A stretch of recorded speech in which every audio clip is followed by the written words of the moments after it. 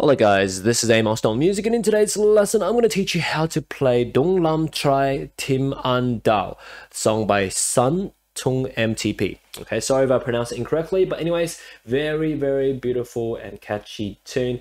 I'll be teaching how to play the instrumental, so once you learn it, you can pretty much play and sing this song for yourself. Very beautiful, goes like this. Give you a preview before you start learning it, goes like this.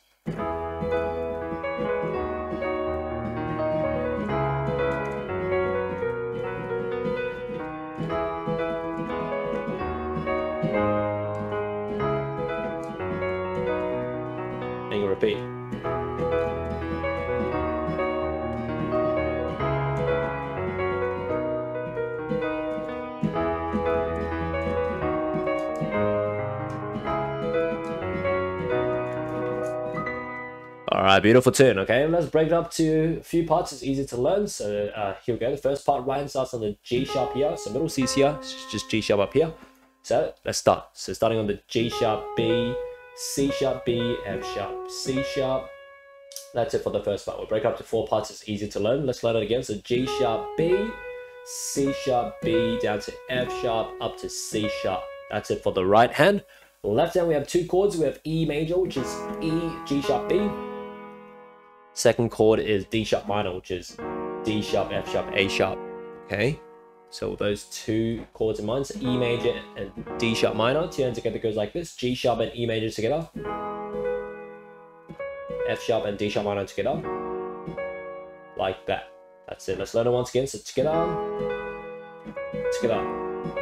Moving on to the second part, Ryan continues, goes D sharp, C sharp, B, G sharp, B, C sharp, B, A sharp, B, A sharp, B. That's it for the right hand for the second part. So a little bit more notes for the second part. Let's learn it once again. So it goes D sharp, C sharp, B, G sharp, B, C sharp, B, A sharp, B, A sharp, B. That's it for the right hand. Left hand we have three chords. We have C sharp minor, which is C sharp, E, G sharp. And then second chord is F sharp major, which is F sharp, A sharp, C sharp, fully black note chord. And then third chord is B major, which is B, D sharp, F sharp. So these three chords in mind, so C sharp minor, F sharp major, and B major. The turn together goes like this. So right hand starts, G sharp and C sharp minor together. After B, F sharp major by itself. Right continues. A sharp and B major together. Like that. Alright, let's learn it once again. So it goes together, here, together. That's it. So back to back, the two parts we've learned so far in this lesson will be played like this.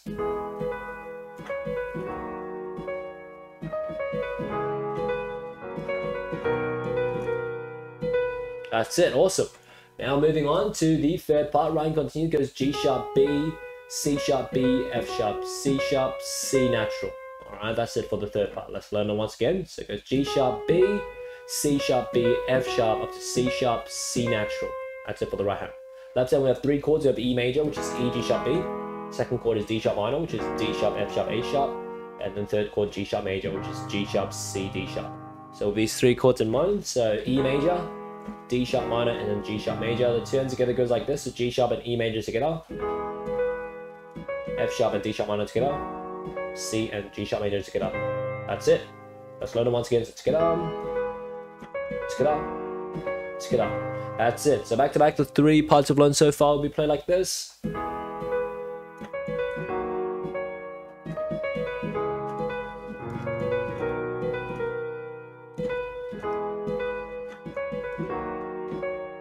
Moving on to the fourth and last part, Ryan goes four notes G sharp, B, C sharp, B.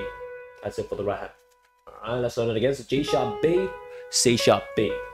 Alright, left hand we have two, uh, three chords. We have C sharp minor, which is C sharp, E, G sharp. And then second chord F sharp major, which is F sharp, A sharp, C sharp, fully black note chord. And then third chord is B major, which is B, D sharp, F sharp. So these three chords in mind, so C sharp minor, F sharp major, and B major. The turn together goes like this: G sharp and C sharp minor together. That, B, F sharp major by itself. Line continues, and then B and B major together. That's it. Let's learn it again. So together, here, together. That's it. So back to back, all four parts of this lesson will be played like this.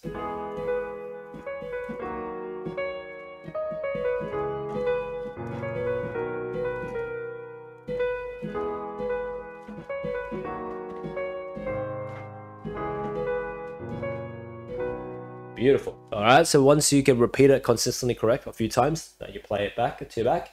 you can start to add your own improvisations to make your own version. All right, left hand you do octave bass arpeggios, rhythmic patterns.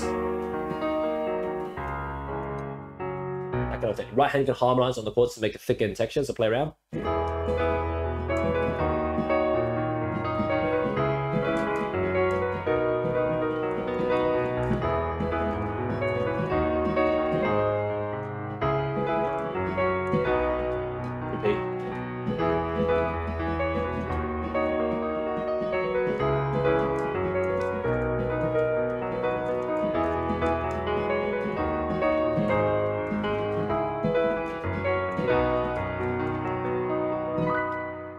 Beautiful tune, okay? So I hope you enjoyed this lesson, by the way. If you want to learn other beautiful tunes like this, search up your favorite song name followed by Amosdoll in the YouTube search to find your favorite song to learn on my channel. As for now, if you want to learn more piano from me, if you like my teaching method and style, how I break everything up step by step, part by part, you can check out my website, bestpianomethod.com. Linked in the description to check out all my piano courses, books, services, which include my song request service where you can request any song uh, for me to make into a cover or lesson of your choice. So make sure to check that out. As for now, enjoy your time around my channel. Make sure to check out all the links in my bio. And as for now, see you all next time.